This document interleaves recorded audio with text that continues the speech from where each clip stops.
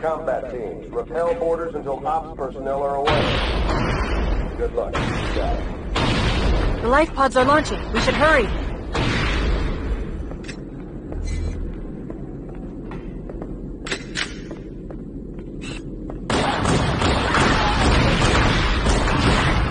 The Covenant are destroying the life pods. They really don't want us on the planet.